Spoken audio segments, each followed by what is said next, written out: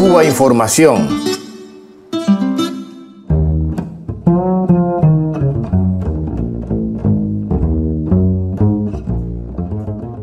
Enfermedades como la hepatitis B, las crisis hemorroidales agudas y las amputaciones de pie diabético podrían cambiar su evolución gracias a los fármacos desarrollados en un pequeño país bloqueado del tercer mundo, Cuba. El Nasvac es una vacuna terapéutica cubana que podría curar a pacientes crónicos de hepatitis B, enfermedad que provoca la muerte de 600.000 personas al año, sobre todo en África.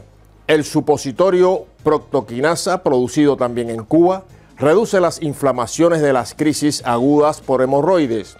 El Everprost P es el único medicamento en el mundo capaz de evitar las amputaciones de los pies de personas diabéticas, hecho que a su vez provoca numerosas muertes.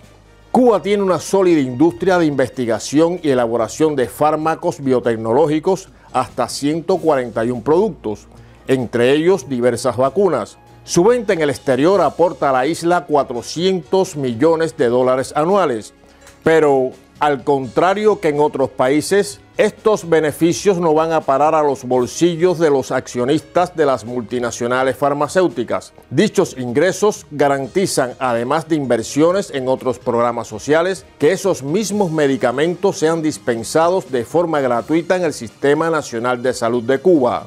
¿No creen que esta forma de trabajar que demuestra que los avances científicos para la humanidad pueden partir del interés público debería ser conocida por la opinión pública mundial?